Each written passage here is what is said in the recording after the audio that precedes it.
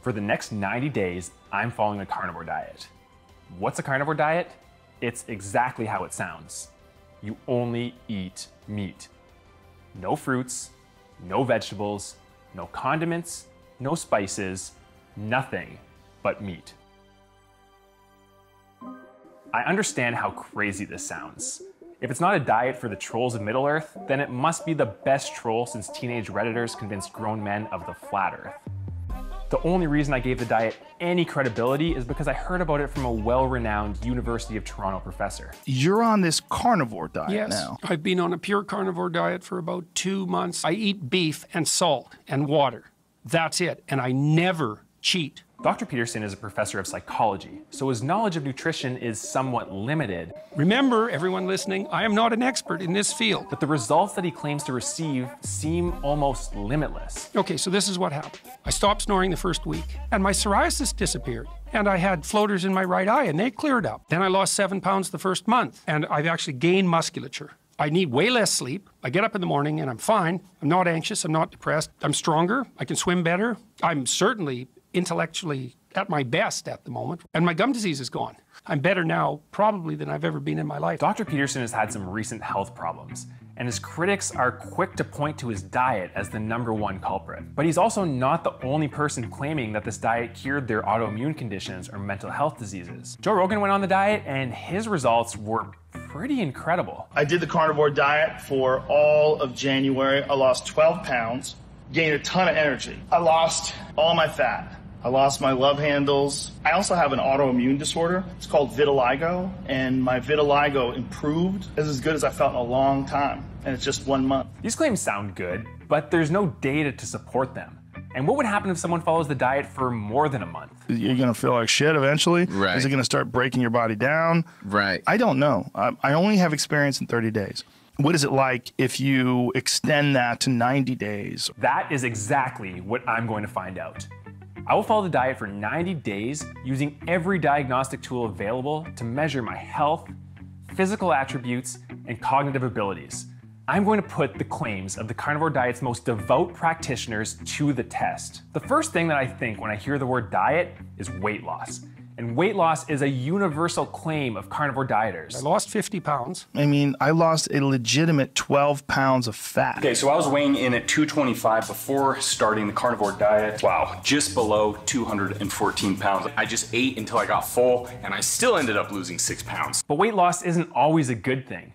I want to build muscle, or at least maintain what I have. That's why I'm using a DEXA scan to measure my body composition, lean mass, fat mass, and bone density. But lean mass isn't just muscle, it's everything that's not fat. I wanna know, is it possible to build muscle without carbs? To supplement the DEXA scan, I got a 3D body map to measure the circumference of each body part. Bigger muscles don't always mean stronger muscles. Since I don't wanna get weak, I'm working with a fitness coach to evaluate my strength changes through my one rep max on deadlifts and overhead press. And it's not just strength that matters. I also want to improve my stamina. And if the rowing machine isn't good enough, then I'm getting a VO2 max test to evaluate how well my body's utilizing oxygen. I'm working with a fitness photographer to take before and after photos and learn how my body visually changes throughout the duration of the diet. How you look on the outside doesn't always reflect how you feel on the inside. That's why I'm working with medical professionals to measure my blood markers, and food sensitivities. I want to learn how the changes on the outside of my body are reflected by my health on the inside. When I was following the carnivore diet, I took more command in the workplace than I ever had in the past. Was this a consequence of personality changes that came from the diet? Or is it because I was working for a company that went bankrupt? I'm working with a psychologist to administer a Big Five personality test and learn how my personality changes over the course of this diet.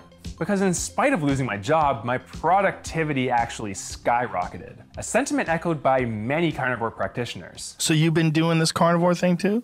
Mm-hmm. Usually, what I eat is about two pounds of meat a day. The thing that people don't often talk about is being able to focus for long periods of time. Well, that's what I really got with the carnivore diet. This sounds great, but as a scientist, I think Lex would appreciate an objective evaluation of whether or not this effect is real. I'm measuring changes to my memory, attention, focus, and intelligence through an executive acumen battery. Or maybe I received these benefits because my body was utilizing energy more effectively. To evaluate this, I tested my resting metabolic rate, which evaluates how many calories your body uses at rest.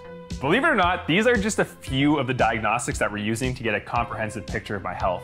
And I'm going to create a following video on each one of these diagnostics to explain exactly what they're measuring and how we can use this information to evaluate my health. I've been following different diets and workout programs for years now, so I have a fairly good idea of what's good for me and what isn't.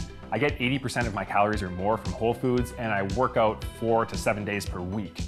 I am fairly disciplined when it comes to maintaining my fitness regimen. What I'm curious about is how will this diet affect somebody who wants to get in better shape, who wants to lose weight, who wants to take control of their life, but has never had the discipline or motivation to maintain a program for a long period of time. That's why I'm recruiting a friend to follow the diet so we can see how will a carnivore diet affect somebody who's more representative of the general population.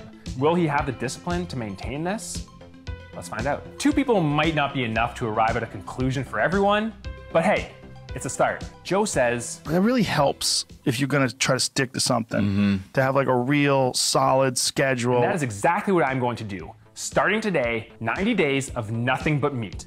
What happens at the end? I'm as curious as you are. Maybe this is gonna be something that's so great that I end up sticking to it for the rest of my life, but maybe that life won't be too long. Or maybe at the end of the 90 days, I'll start experimenting, adding variations within the diet, and learn if I can maintain the benefits while losing any consequences. Only time will tell. I don't know whether I should be nervous or excited, but either way, I can't wait to get started. This is going to be the hardest three months of my entire life, so I'm definitely going to need whatever benefits these carnivores are claiming to receive in order to make it through. The next video is going to dive into the specifics of what I'm eating. Can you eat eggs and dairy? Can you drink coffee or tea? Can you use drugs and alcohol? Subscribe to the channel to find out. Thanks for watching, and let me know in the comments what are you most excited about seeing come from this diet? Is this something that you would try yourself? Is this something that you would prescribe to your best friend or your worst enemy? Let me know, and I look forward to seeing you all soon. Action.